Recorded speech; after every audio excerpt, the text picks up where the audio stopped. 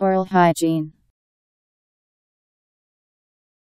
The practice of keeping the mouth clean in order to prevent cavities, dental caries, gingivitis, periodontitis, bad breath halitosis, and other dental disorders. O R A L H Y G I E N E Oral hygiene